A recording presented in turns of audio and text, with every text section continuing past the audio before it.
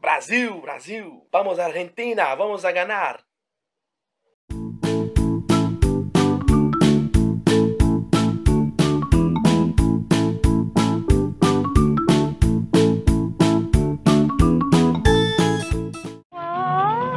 chegou, chegou.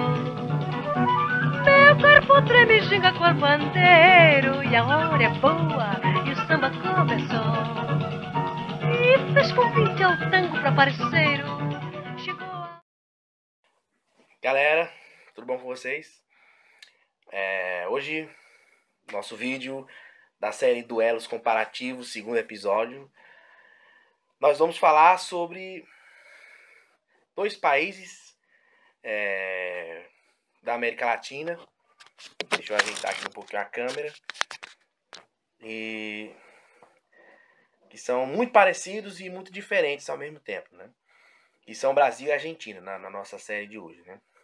Eu trouxe aqui uma, uma, uma colinha aqui para a gente falar da comparação dos dois países.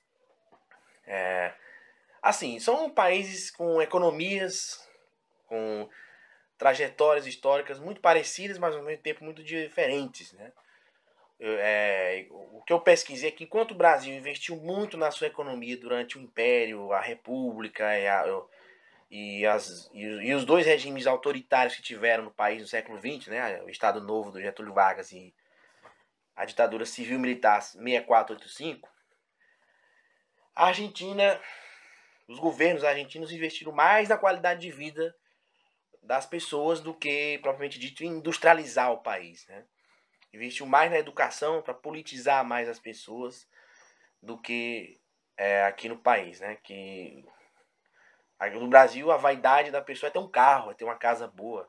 E na Argentina a vaidade de um, cidadão, de uma cidadã é ter um filho, uma filha numa universidade, né? Sobretudo pública. Né? Como são países muito parecidos, do mesmo continente, com muitas diferenças, né? Eu tentei traçar um perfil de, fazendo a comparação em vários aspectos, né? É, eu falei um pouco aqui dos aspectos políticos, né?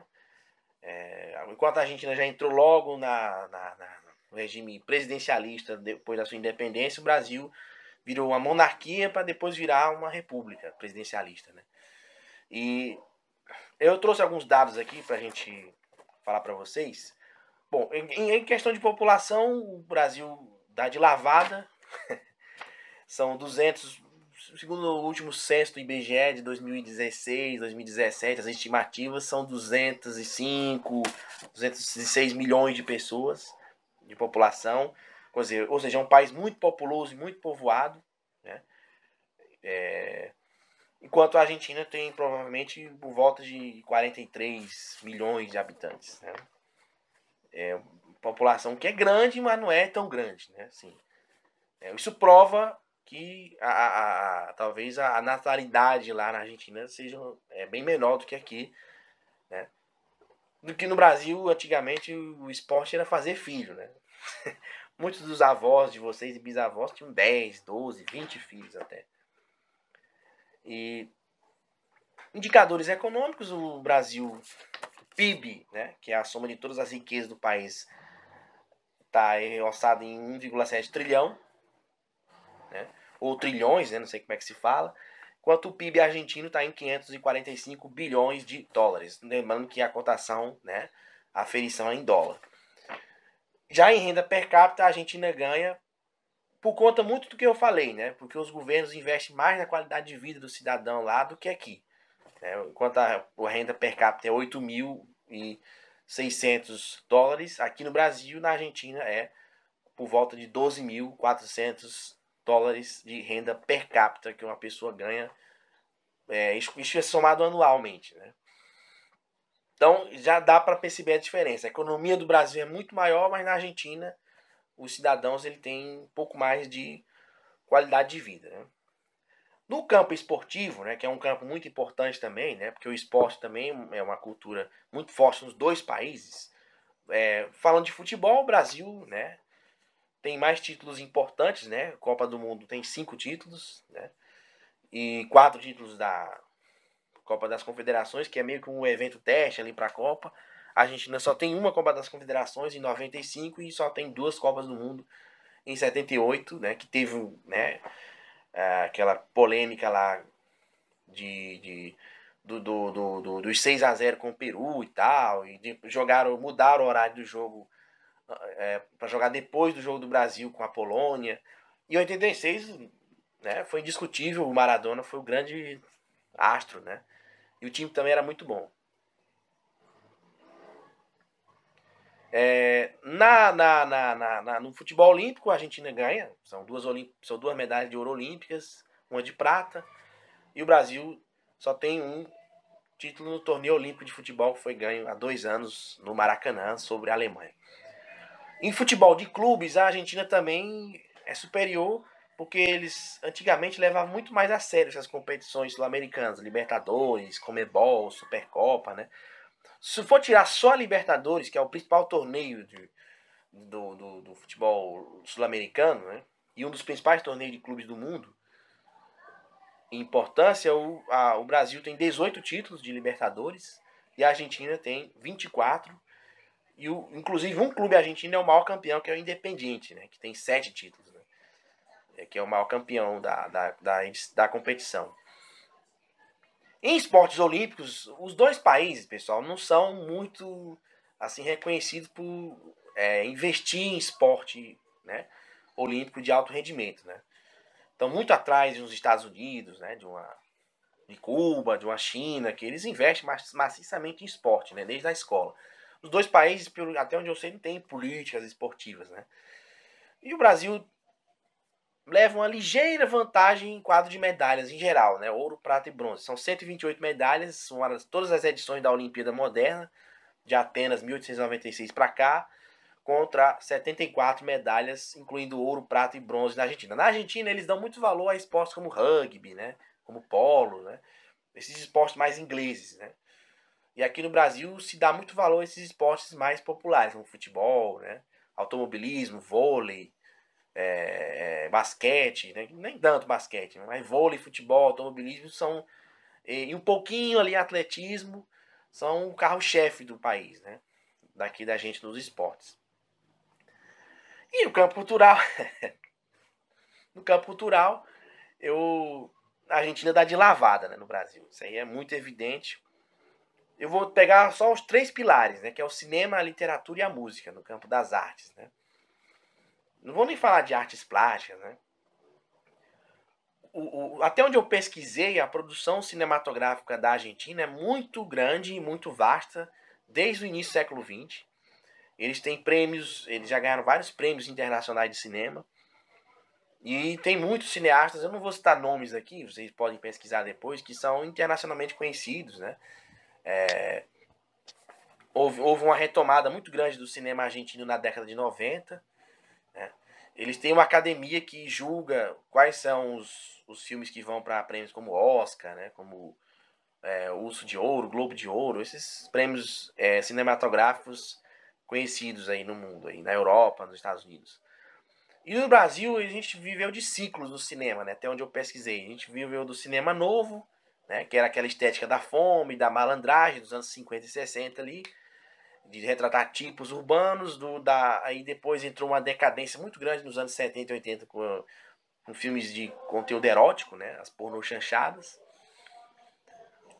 E teve uma retomada nos anos 90 e 2000, né, que, de filmes que tratam de uma estética mais social, mais de retratar o cotidiano brasileiro ali, mais de é, fazer adaptações de obras da literatura, entre outras é, expressões cinematográficas, né expressões fílmicas. Né?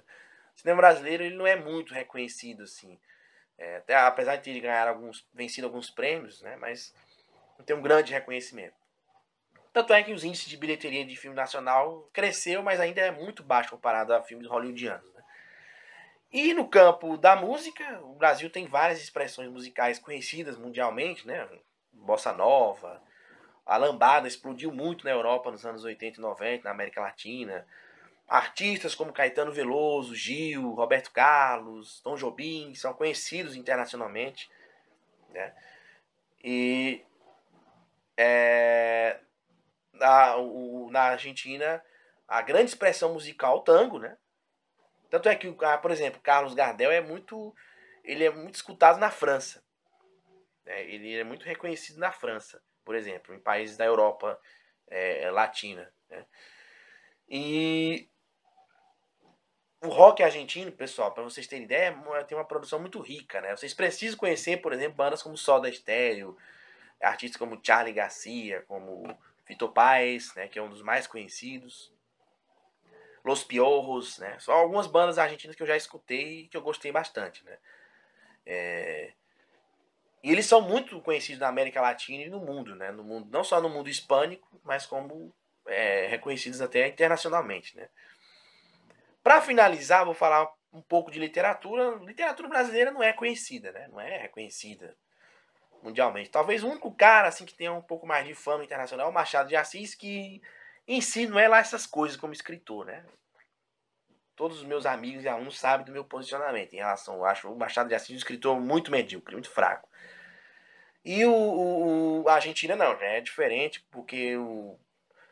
Por exemplo, você pega o Jorge Luiz Borges, a obra dele é traduzida para trocentos idiomas, né? pega um cara como Julio Cortázar, né, que é do, do, dessa literatura mais de neorrealismo, mais de fantástico, né, é, ele foi um dos grandes responsáveis pelo boom né, da literatura latino-americana a partir ali, dos anos 50. Ele, o Vargas Llosa, né? Inclusive eu vou falar de um livro do Vargas Llosa em outros vídeos do canal, que é um peruano que já ganhou até Nobel, o, o Gabriel Garcia Marques, né?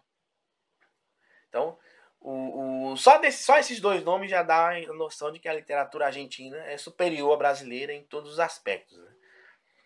É, então, eles investiram mais em cultura do, do que a gente é, do, aqui no Brasil. E nós aqui no Brasil já investimos mais na força do trabalho na indústria. Né? O que, em consequência disso, traz um emborrecimento maior da população. Né? Essa é a minha opinião, né? Eu estudei muito os dois países, a cultura dos dois países, para fazer esse, essa comparação. Né? E não, não, tem assim um vencedor, né? É, acho que cada um, dentro das suas particularidades, tem suas vantagens e suas desvantagens. Mas se eu fosse escolher, eu preferia ser argentino do que brasileiro, né? Porque, o país investe muito mais na, em políticas culturais, em qualidade de vida para o cidadão, do que aqui no Brasil que o cidadão trabalha, trabalha, trabalha, trabalha e não usufrui de nada. Né? E você vê uma minoria ainda entrando na universidade. Né? Aqui ainda título de, de, de graduação é, ainda é visto como um status. Né? A Argentina é, já é algo mais natural, porque eles investem muito mais em cultura e educação do que aqui. Tá certo? E esse foi meu vídeo de hoje. Se você gostou, se não gostou, comenta aí. Dá um like no vídeo, compartilha e se inscreve no canal, ok? Grande abraço.